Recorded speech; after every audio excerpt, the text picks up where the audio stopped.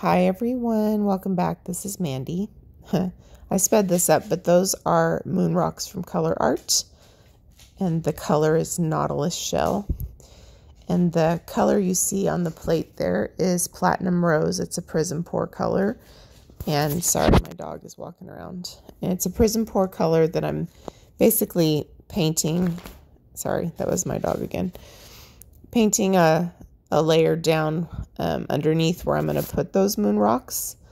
Um, and then after the paint dries, I apply some Pebeo Cerne Relief just to create a little bit of a, a ridge um, so that when I put epoxy down, um, it kind of keeps it in one place. And what I was showing you there was this little crystal I made with a mold, and I was thinking about including it. So I was just kind of hypothetically putting it down there in case I decide to include it so I would have a, an idea in my head of where it might go. I don't end up including it. What I'm finding is it's um, if if I'm personally going to use like a little crystal or something like that, it almost needs to be the only thing. I I used one on this purple themed uh, little geode I'm working on, and I've had so much trouble not making it look busy and weird. Um, I know I tend to overthink things a little bit. Sorry, my dogs have literally been laying down doing nothing until I started doing this, and now they want to scratch and shake and drink water and all that. So my other dog is drinking water now, of course. So now I'm um, I have a little bit of a layer of epoxy. I let the Cerne Relief dry. I have a layer of epoxy, and I'm just putting down my moon, moon rocks, and I'll let those dry. All right, so I'm going to take this Millionaire glitter that I get from Lilly's Glitter Shoppe. I mixed it pretty thick with my resin that was already uh, thickening up a little bit. And I, because it is kind of a semi-chunky glitter, I put it in a little sandwich bag. And I'm going to cut the edge and almost like a, like a cake piping type situation. Because I kind of want a thick line. I do have syringes for thinner lines, but I wanted it to be a thick line. So, and so I'm basically just kind of creating a little, a little dam. And then after it dried, I came back in with a little resin to cover up the moon rocks and let those dry. Um, from my first geode, I kind of learned to maybe not do all that in the same step because if you end up using too much resin, it flows into your moon rocks and messes everything up.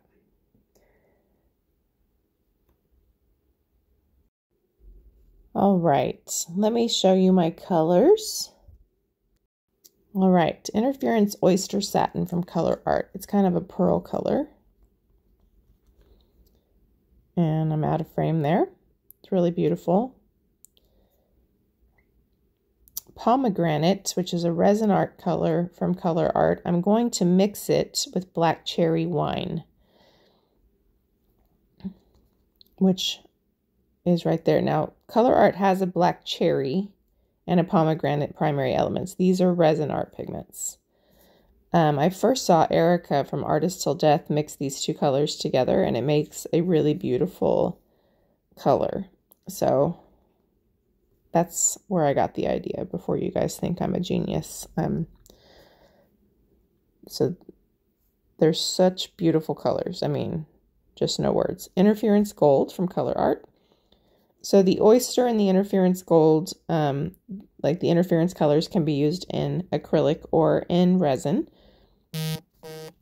Sorry about my phone buzzing. And I'm using White Album, which is a base tint from Faux Rizzle.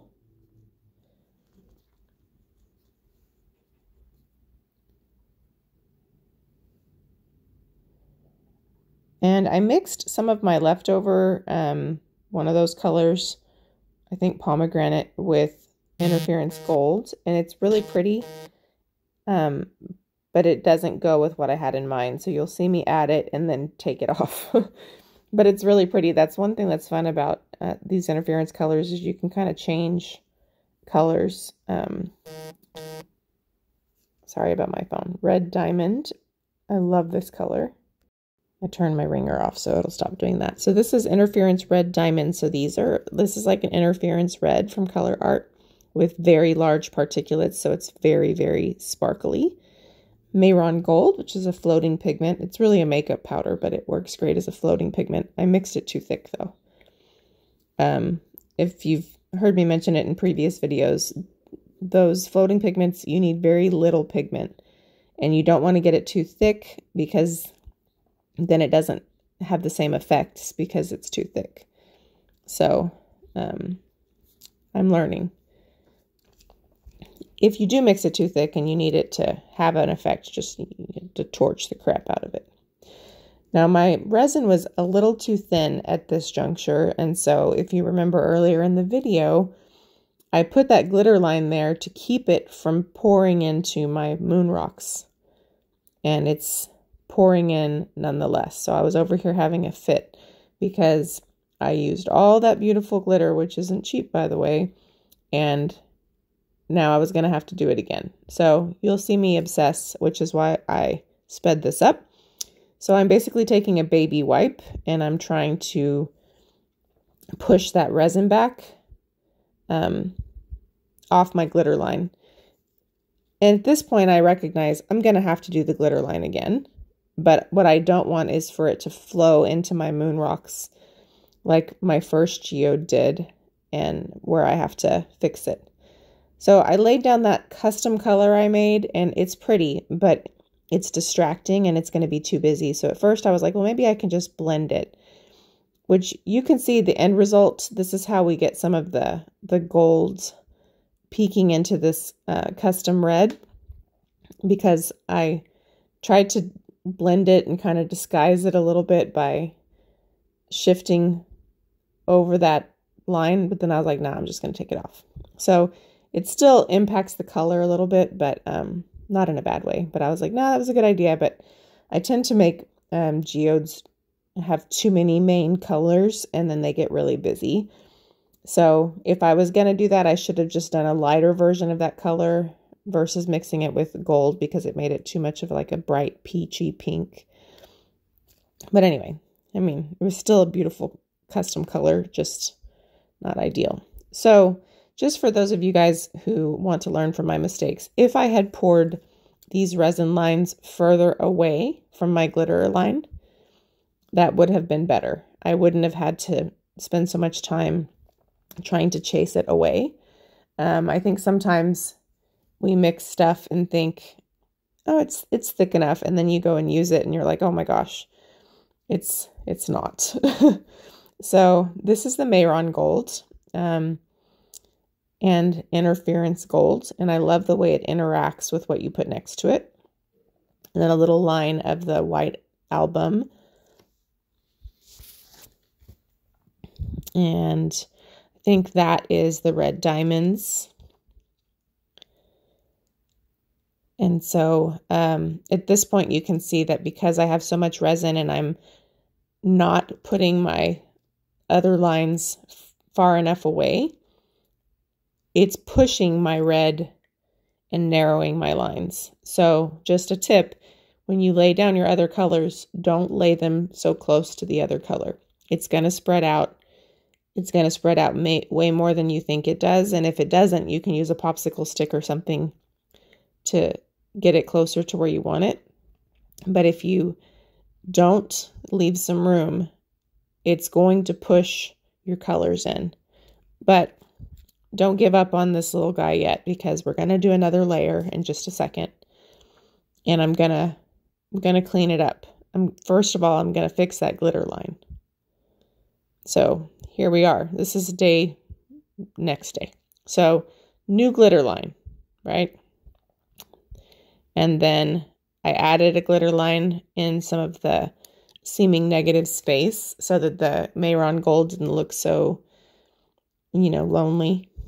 Um, so that is that millionaire glitter from Lilly's Glitter Shoppe. It's amazing. And I mixed up another batch of the black cherry wine and the pomegranate. I didn't get the color exactly to match, but I let it sit for a little bit so it would be a little bit thicker. And um, I just thought, well, I really want to make sure that I have a, a good amount of color on there. I wanted that to be the main color. So I went ahead and added Um, I didn't do a flood coat or anything. I just added these glitter lines and I added more color to widen um, kind of the band of color. And it, like right now, you can't tell that it really makes a difference and it makes the end result look a lot better. All right, so here she is. Um, this is after the flood coat, after the tape is off. You can see the edges um, are nice and white. So some really cool, you can see the red diamonds. They're just incredible. And I love the way the Mehron gold kind of runs into those and into the interference gold. This is that millionaire glitter from Lilly's Glitter Shoppe. I love how sparkly it is. And even though I added these lines separate of color, um, and you can tell they're, it almost seems like I used a slightly different shade because I didn't mix it quite as light as the first time. And um, I just love that it widened my band of color because I didn't want to have a really tiny band of color. So, of course, the gorgeous moon rocks. So, of course, pretty much everything but the glitter, the Mehron Gold, and the white I got from Colourarte.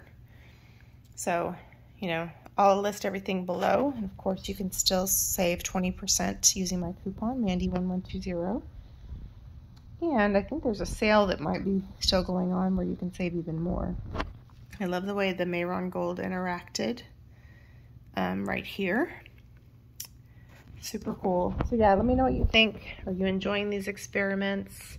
I hope that you are. I'm going to try to cut a freeform geode from MDF board if I can figure out how to use my husband's jigsaw. So that could be loads of fun. Anyway, let me know what you think. Thanks for watching. Appreciate you guys. Talk to you soon. Bye.